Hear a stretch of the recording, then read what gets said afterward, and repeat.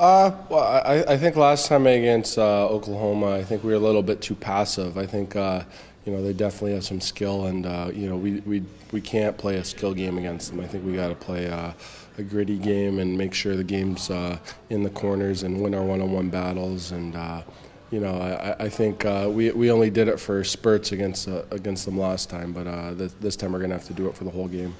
Um, yeah, I mean, uh, I think anytime you, you know, of course, you know, anytime you get together early in the season on the road, it, it's beneficial. But, you know, um, you know, gelling with players takes time, and especially, you know, the coaches are trying, uh, especially like different line combinations, stuff like that, getting chemistry, finding who, who's good with who.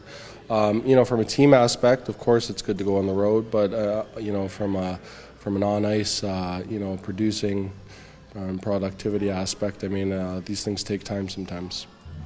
Yeah, I mean, uh, yeah, de- definitely since uh, since training camp, you know, I've been playing with them a lot, and you, you learn guys' tendencies, and uh, you know, it's helping. That you know, that like I said, they're they're they're young and they're eager to go, and uh, I like that, and uh, and uh, you know, I, I, think there's there's definitely some chemistry there, but you know, it, I've been playing with you know after this week, and I've been playing with other guys too, and you know, so so we'll see what happens. I mean, I, would like to get a couple line mates and you know go go with them for a month or two and to to see if uh, we could get something going here. But uh, for now, I still think they're trying to figure stuff out. Uh, you know, who's good with who to get some offense.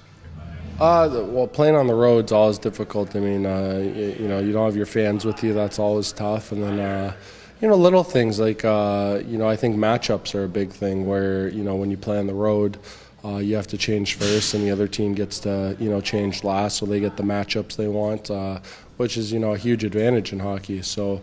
Um, you know, um, I, I, think it's one of those things where, where if you're going to be a, a, successful team, you know, it shouldn't should go into every game uh, with the same mentality, whether you're at home or on the road. And uh, you know, we we have uh, uh you know some young guys there that are going to figure that out, and uh, you know, I think in the long run we'll be better for it.